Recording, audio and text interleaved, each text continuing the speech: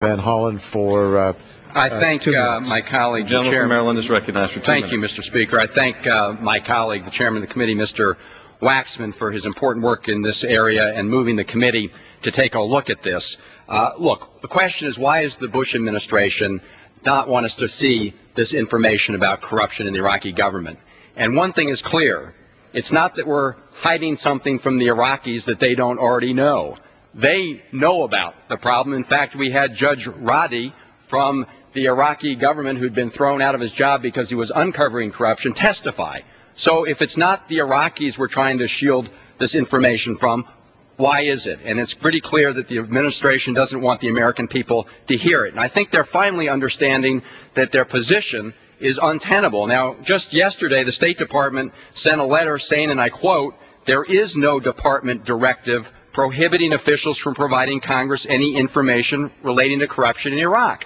Well, that's just flatly false. And in fact, we have a copy of the directive right here. Uh, before the committee began its hearings, we asked for some State Department officials to come before the committee and talk about corruption issues. Well, the night before, they came before the Oversight Committee.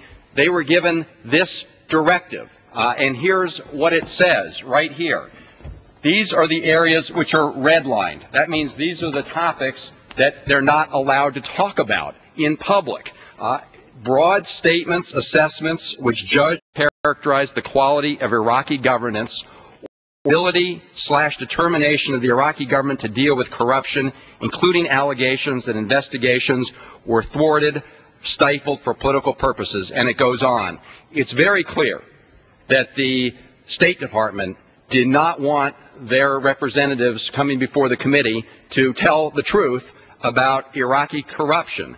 And they since then, when their officials actually came before the committee during the hearings, they refused to answer questions, the broadest kind of questions. Let me give you an example of questions that Ambassador Lawrence Butler, the Deputy Assistant Secretary of State for Near Eastern Affairs, said he couldn't answer.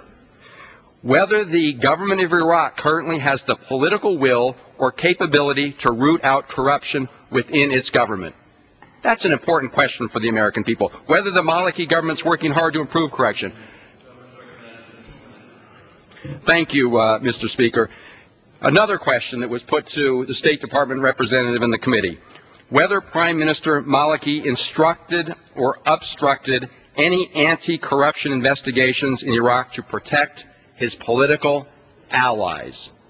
These are important questions to answer for the American people. These are questions that go to the heart of whether or not the policy in Iraq is succeeding or failing. They go to the heart of the question about whether the billions of dollars that taxpayers in this country have put into Iraq are being put to good use or whether they're squandered through waste, abuse, and corruption. So, Mr. Speaker, this resolution simply says, let's not play games here. Let's not play games with the truth. Let's not try to hide the facts from the American people. The people of Iraq know well the problems that they're having with respect to corruption. And in fact, some of their leaders have put their lives on the line and had to flee Iraq when the government said they were getting too close to the truth. But the people here need to know the truth. And the State Department and the Bush administration should not be using games to try and hide the facts and hide the truth from the American people on a very important issue. Thank you, Mr. Speaker.